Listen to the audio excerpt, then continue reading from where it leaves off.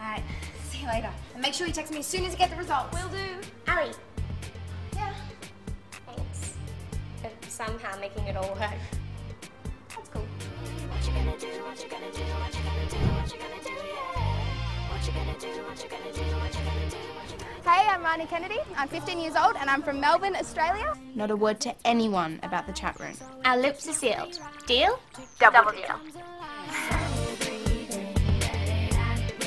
What is your first impressions of Singapore? Well, I got off the plane um, and it was hot and it was like midnight and it was boiling. It was 29 degrees when we got off the plane and even though I'm from Australia and we're used to the blistering sun, it's hot here. Jackie?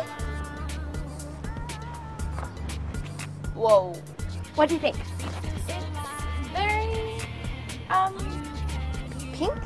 What are you looking forward to doing in Singapore? I'm a bit of a shopaholic, so I'm definitely looking forward to all the cheap shops, all the cool clothes, and definitely the fashion. Do you like the Asian food? Well, that's the thing. I'm so used to my Vegemite on toast, and definitely none of that here. So I've brought my Vegemite along with me, but definitely looking forward to all the noodles and all the cool different foods. Got to try them out.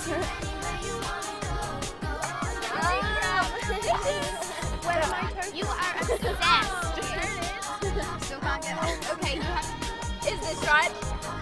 yes, Emma. Emma can do it. Emma got it first. Here's time. this. Yes, you go. Are you similar to your character Ali in any way? Uh, Ali and I are a little bit different. Um, well, we're teenage girls, so there's not much difference there. Like we go through all the same sort of things, got to deal with school, family, all that sort of stuff. So we're fairly similar in that aspect.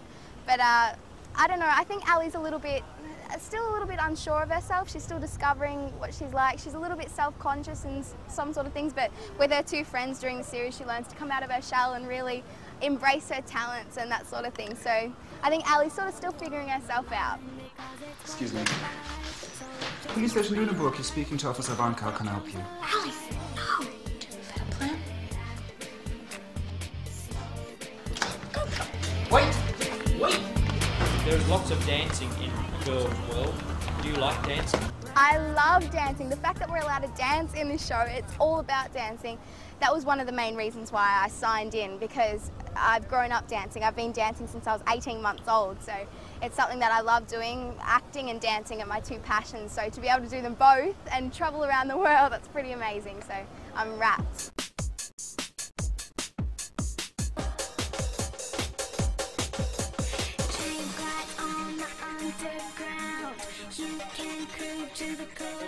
In the Australian shoot, there was a lot of horse riding.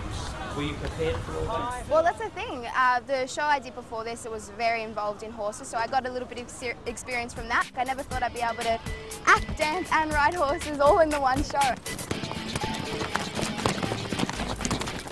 Where is the shoot going next after Singapore?